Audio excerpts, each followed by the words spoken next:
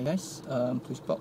So nak show some uh, labor production from uh, steam turbine. Okay, so let's see how it.